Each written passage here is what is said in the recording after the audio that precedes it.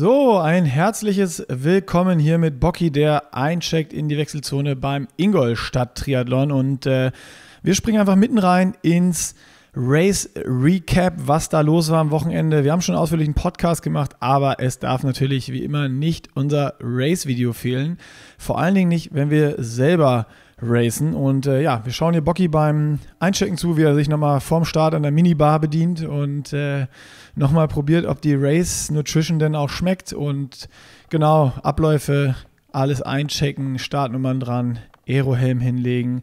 Der Einteiler ist schon angezogen, wie ihr seht. Und äh, ich habe es im Podcast schon gesagt. Bei mir war es äh, ja wirklich aufregend, mal wieder zu racen und ich habe alle Sachen doppelt und dreifach gecheckt und sichergestellt, dass ich alles richtig hingelegt habe, die Schuhe von links nach rechts geräumt und wieder zurück nach links. Hab mir ähm, noch eine Sonnenbrille hingelegt. Äh, ihr seht, das Wetter war beim Check-in noch richtig geil. Perfektes Race-Wetter und äh, eigentlich hätte man sich nichts Besseres wünschen können. Es war nicht zu warm, die Sonne kam raus und es war einfach, es war einfach schön. Dass es noch anders kommen sollte, sehen wir, sehen wir dann später. Das kann ich schon mal vorwegnehmen für alle, die den Podcast noch nicht gehört haben oder nicht mitbekommen, was in Ingolstadt passiert ist. Und ähm, genau, es reges Treiben, also endlich mal wieder Wechselzone für uns. Und äh, danach ging es direkt in den Neo vorbereiten auf den Schwimmstart. Und äh, ja, beim Schwimmstart war es dann so, dass äh, ich in letzter Sekunde noch Bocky in der Ecke habe stehen sehen und äh, zu ihm rübergelatscht bin, ganz rechts äh, am Bild und ähm, ich stand erst so ein bisschen weiter in der Mitte. Was besser war, sehen wir gleich aus der Luft ganz schön. Ähm, und zwar jetzt, wenn der Startschuss hier erfolgt, ab geht's, Ingolstadt Triathlon über die Mitteldistanz, 1,9 Kilometer stehen an. Ganz, ganz rechts, äh, also links jetzt hier im Bild, auf der Seite rechts in Schwimmrichtung da sind Bocky und ich gestartet und man sieht schon, in der Mitte hatte sich am Anfang ein schnellerer Zug gebildet. Ähm, zum Glück war aber Wilhelm Hirsch der schnellste Schwimmer eigentlich im Feld, was wir angenommen hatten.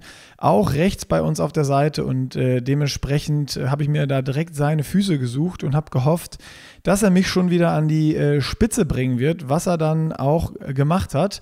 Das sieht man jetzt ganz gut im Bild äh, sofort. Hier, zack, da springen wir. Da erfolgt der Zusammenschluss. Und genau in dem Moment gab es bei mir auch kurz vor der ersten Boje so eine ja, kleine Unaufmerksamkeit. Ich habe nicht gesehen, wie die Lücke aufgeht, habe den Zweierzug vorne verpasst mit Wilhelm Hirsch und Finn Große Fräse, die hier sich abgesetzt hatten und gut eine Minute auf uns die zweite Gruppe hatten. Ähm, hier als erster aus dem Wasser Wilhelm Hirsch, dann dahinter Finn Große Fräse, knapp dahinter, also wirklich nur ein äh, paar Sekunden zwischen den beiden. Und äh, da kommen schon wieder Dreiergruppe aus äh, Fabian Reuter, der dann vorgeschwommen ist, äh, der das Loch hat aufgehen lassen, was ich leider nicht mitbekommen habe. Und äh, Thomas Ott, der auch von Nils Görke trainiert wird, also sozusagen ein Coach-Teamkollege. Und äh, ja, wenn ihr jetzt mal sehen wollt, wie man richtig aus dem Wasser rennt und wie ein Kurzdistanzler das macht gegenüber ähm, mir, dann passt jetzt mal genau auf.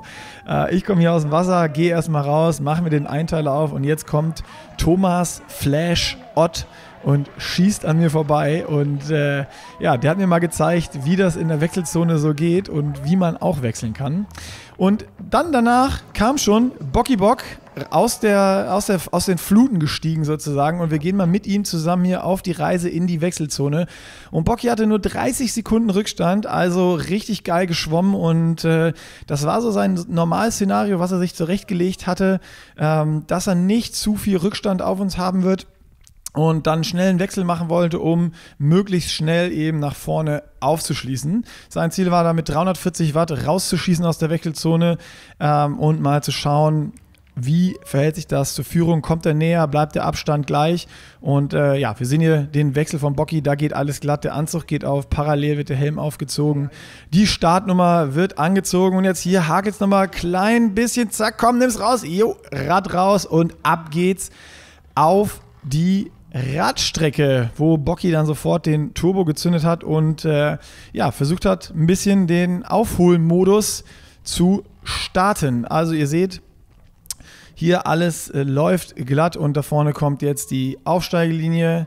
Zack, aus Radspringen und äh, dann geht es los und wir sind schon mittendrin auf der Radstrecke. Erst ging es rein, eine kleine Runde Richtung Ingolstadt. Die fehlt jetzt hier, weil unser Filmer leider nur alleine war. Das heißt, wir haben immer so ein paar ähm, Jumps drin. Danke nochmal an Tom Meyer, dass du hier eingesprungen bist zum Filmen. Und das hier ist schon wieder auf dem Weg aus der Wechselzone oder aus Ingolstadt, nicht aus der Wechselzone, heraus zum zweiten Wendepunkt. Und äh, das ist auch äh, da kurz schon davor, also es ist dann quasi in die Innenstadt, Wendepunkt, wieder raus zum zweiten Wendepunkt. Äh, das ist nicht die Hälfte der Strecke, das ist boah, ich, pro Runde, zwei Runden wurden sie fahren, ich glaube so ein Drittel. Da hatte Bocky auch schon fast zu mir wieder aufgeschlossen. Das sieht man jetzt im nächsten Bild, gleich müsste ein Umschwung, da ist er, da ist Bocky und zack, da komme ich schon. Also Bocky hat äh, innerhalb von, ich weiß nicht, was es waren, lass es 15, 16, 17 Minuten gewesen sein auf dem Rad, hatte er schon zu mir aufgeschlossen, war an mir dran und ist dann auch ähm, direkt an mir vorbei, an mich, an mich, an mir, wie auch immer, vorbeigezogen und äh, ich habe mich dann an seine Fersen geheftet und so ein bisschen den äh, Lutscher gemacht und habe Bocky als als Pacer genutzt und gesagt, ich bleibe hier mal dran und schaue, wie lange ich das machen kann. Aber dann gehen wir gleich mal, ähm, während man mich hier noch auf dem Rad sieht, auch mal ein bisschen nach vorne und schauen mal so ein bisschen, wie sich das Feld denn ganz vorne sortiert, ob da immer noch alles gleich ist oder nicht. Wer sich jetzt wundert, übrigens, kleiner, kleiner Fun Fact, hier noch mein weißer Lenker, äh, den hat Radsport Ebert gedruckt, der Lasse. Ähm, der versucht hier, oder das ist der Versuch, einen äh, Alu gedruckten 3D-Lenker äh, custom-mäßig irgendwie in äh, Serie zu bringen und das äh, zu so wurde mir gesagt, zu einem halbwegs bezahlbaren Preis. Was es am Ende heißt, weiß ich, weiß ich auch noch nicht, weiß Lasse, glaube ich, selber noch nicht. Äh, auf jeden Fall richtig geil das Ding und äh, gab nochmal so einen riesen Motivationsboost, irgendwie so einen speziellen Lenker jetzt am Rad zu haben und den fahren zu dürfen. Äh, das macht das ganze Rennen äh, natürlich nochmal geiler und war richtig cool. Da nochmal ein fettes, fettes Danke an Lasse und ich habe mir auch sagen lassen, das macht sehr viel Sinn, den aus Alu zu drucken, weil das viel, viel, viel, viel, viel stabiler sein soll als dieses ähm, ja, plastikgedruckte, ähm, wo man ja manchmal sieht, dass die Lenker ganz schön hoch und runter wackeln. Das kann ich bestätigen, ist bei dem Ding überhaupt nicht der Fall. Ja, dann schauen wir uns nach meiner Close-up-Studie vom Lenker hier mal ein bisschen an, wie sich das Feld nach vorne sortiert. Und zwar ähm, sind da schon ein paar Leute von hinten wieder an mir vorbeigeschossen und an Bocky sind auch ein oder zwei äh, Jungs vorbeigeschossen, die sich auf den Weg nach vorne gemacht haben. Ähm, müssten wir gleich im Bild haben und zwar ist das mit der Startnummer 5 Fabian Reuter, dem konnte ich nicht halten. Also der war nach dem Wechsel, ist noch ein bisschen langsamer gewechselt als ich, ist dann in der, in der Ingolstadt, in der Stadt, in Ingolstadt an mir vorbeigeschossen. Und äh, ja, da hätte ich über meine Verhältnisse gehen müssen. Ich bin dann kurz mitgefahren, musste dann so 350, 360 Watt fahren. Das war zu viel für mich und habe ihn ziehen lassen. Der hat sich also auf den Weg nach vorne an die Spitze gemacht und ähm, überholt jetzt auch hier den, der als zweites aus dem Wasser gestiegen ist. Finn, große Fräse. Ähm, das heißt, hier gibt es einen Führungswechsel. Ähm, Thomas Ott hat ihn in der Zwischenzeit auch schon überholt. Und äh, hier kam von hinten noch einer nach vorne geschossen. Der hatte sogar, glaube ich, Bocky überholt. Das ist mit der Nummer 11 Yannick Stoll. Äh, also ist, glaube ich, mit Bocky oder kurz hinter Bocky aus dem äh, Wasser gegangen und ist äh, wie ein Berserker nach vorne gefahren und äh, sollte auch noch nach ganz, ganz vorne fahren. Das sehen wir später noch. Ähm, also richtig, richtig starke Radfahrt hier von Yannick Stoll. Das war, das war krass mit anzusehen. Also der ist an mir vorbeigeschossen. Das war, keine Ahnung, so ein so ein, so ein Geschwindigkeitsüberschuss, dass ich gar nicht versucht habe, da irgendwelche Anstalten zu machen, da, da mitzugehen und mitzuziehen, weil das war außerhalb von allem, was ich auf dem Fahrrad kann. Springen wir einen Platz weiter nach vorne. Da sehen wir Thomas Ott, mit dem ich aus dem Wasser gestiegen bin, der mich in der Wechselzone schon hat sowas von stehen lassen. Auf dem Rad hat er einfach genau das weitergemacht und ist am Ende die zweitschnellste Radzeit gefahren. Auch hier aus dem Team Erdinger aus alkoholfrei aus dem Perspektivteam. Und äh, ja, der, der empfiehlt sich hier, glaube ich, gerade für etwas mehr und für was Größeres. Also ähm, Gutes Schwimmen, richtig krass schneller Wechsel. Ähm, da muss ich nochmal noch mal in die ähm, Schule gehen und mir ein bisschen Nachhilfe holen. Also da hatte ich überhaupt keine Chance, hier gewechselt und auch direkt auf dem Rad hat er viel mehr Druck gehabt, sitzt geil auf der Kiste hier, nimmt den Kopf schön runter, alles Aero und ähm, ja, macht sich auf den Weg an die Spitze. Also Thomas, richtig, richtig geiles Rennen von dir. Äh, großes Kompliment. Das war mehr als, mehr als beeindruckend und stark zu sehen. Ähm, und wir sehen es auch gleich. Thomas, kann ich auch vorwegnehmen, wird auch noch aufschließen auf Wilhelm Hirsch, ähm, der als erster aus dem Wasser gestiegen ist und ganz, ganz, ganz lange auch die Spitze für sich äh, in Anspruch genommen hat. Und äh, ja, an der Spitze sollte sich dann noch einiges tun, bis es dann zum Laufen kommt. Das sehen wir dann aber gleich natürlich noch, wenn wir hier die Studie von Thomas noch sehen, der auf der flachen Strecke in Ingolstadt, also flach ist quasi ein paar Hügel drin, ein bisschen kopiert, aber alles in allem kann man sagen, die Strecke ist so eine richtige, richtige Drückerstrecke und äh, ja, da das, das, ist einfach geil. Also die Radstrecke würde ich mir eine malen können, für mich perfekt. Leicht hoch runter, immer Vollgas und äh, hier im Bild jetzt vom Pro-Team Hotel Jakob, ehemals Team Mornwirt, umbenannt worden, ähm, sehen wir Wilhelm Hirsch, der nicht nur als erster aus dem Wasser gestiegen ist, sondern sich dann auch als erster aufs Rad gemacht hat. Und äh, ihr seht, jeder hier wirklich, ich glaube, die erste Runde fast komplett äh, alleine unterwegs. Ähm, super, super, super faires Rennen. Äh, es hat sich sofort alles irgendwie auseinandergezogen und äh, keine, keine großen Gruppen oder sonst was, was es da gab, sondern jeder war auf sich alleine gestellt. Und ihr seht es hier noch, das Wetter ist noch total gut, die Straßen sind trocken und das sollte sich gleich im Laufe des Rennens sowas von ändern. Wir sehen jetzt nochmal hier alle durch. Thomas Ott auf zwei, ähm, Yannick Stoll auf drei, ähm, dann äh, Fabian Reuter nochmal hier und äh, dann Finn Große Fräse und hier kommt dann äh, Bocky und der Lutscher Staggenborg, der hier an Bockys Hinterrad klebt und da sieht man schon, uh, es wird nass. Also hier kamen die ersten Tropfen runter und äh, die Temperatur ist sowas von gedroppt. Und hier hat es jetzt schon richtig, richtig schön geregnet. Das ist jetzt ähm, Richtung zweite Runde, also vorbei an der Engstelle, wo es quasi auf die zweite Runde oder wieder hin zur Wechselzone geht und wieder Richtung zweiten Wendepunkt in der City in Ingolstadt.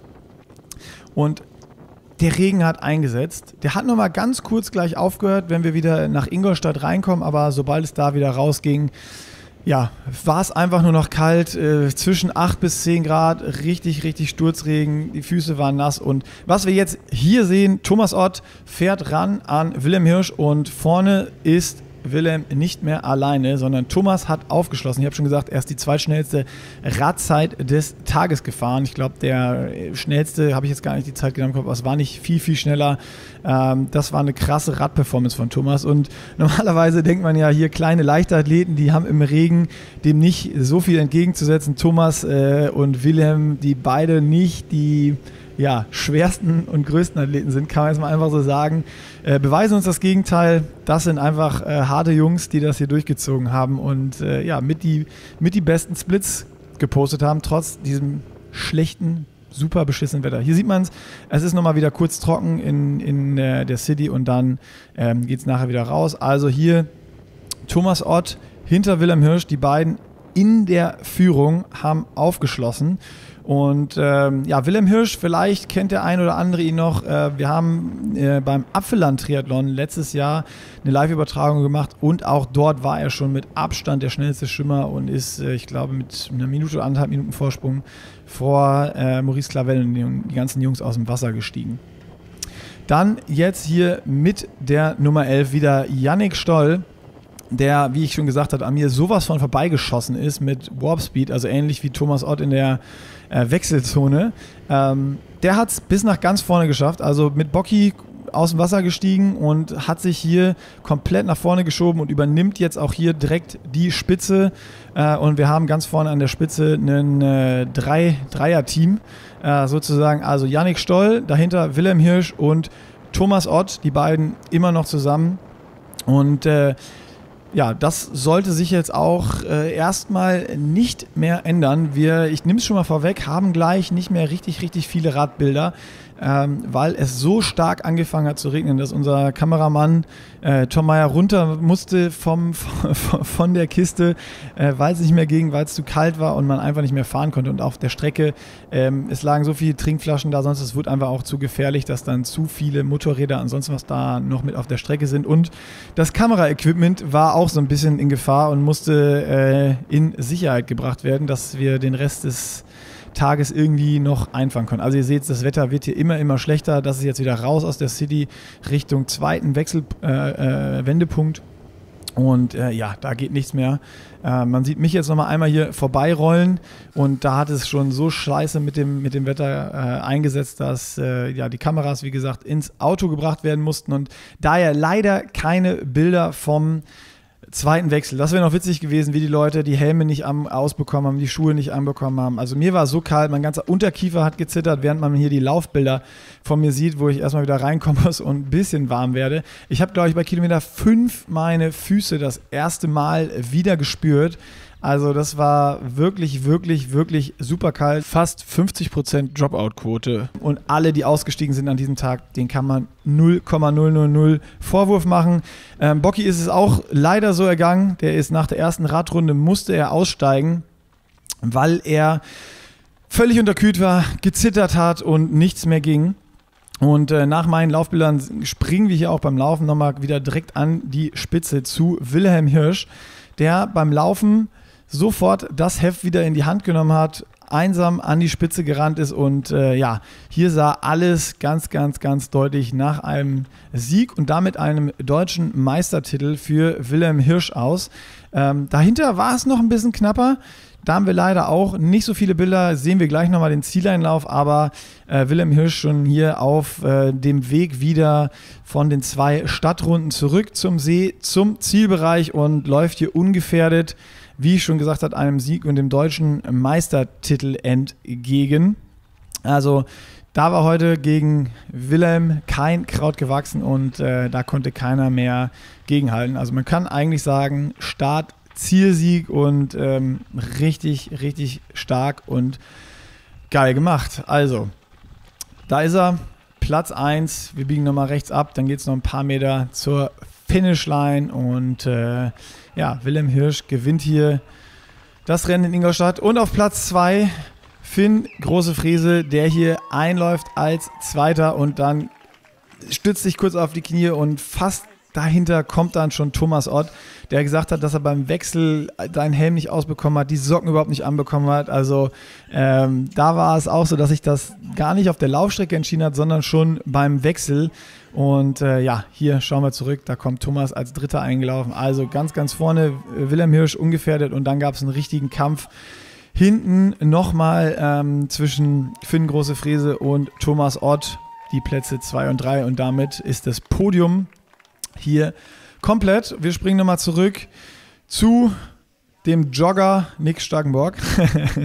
ich habe mich hier mit äh, Christoph Briegel zusammengeschlossen, der mich ganz am Anfang der, der Laufrunde überholt hat, mir noch zugerufen ey, gegen dich wollte ich immer mal racen und einfach weggerannt ist. Aber ich habe ihn immer so ein bisschen am Horizont gesehen und es war echt eine geile Motivation. Dann äh, habe ich ihn mal überholt, er ist mir wieder weggelaufen, ich bin wieder rangelaufen und hier, wo es jetzt Richtung See zurückgeht, ganz am Schluss, da konnte ich dann ihn nochmal stehen lassen. Also äh, ja, das, was noch im Tank war, ich bin da 1,25 gelaufen auf, je nachdem, welche GPS-Uhr man nimmt, 20,5 bis 20,8 Kilometer. Also ähm, ja, kein, kein richtig schneller Lauf von mir, aber auch kein schlechter Lauf. Ich bin super happy mit dem ganzen Rennen. A, überhaupt, wie ich schon gesagt habe, ins Ziel zu kommen.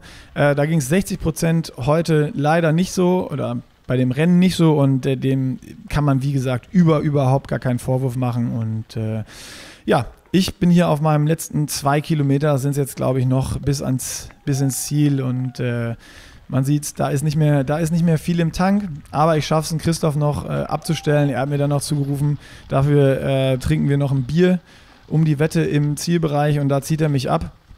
Ähm, leider gab es nur alkoholfreies, da wollte er sich dann nicht drauf einlassen, aber okay.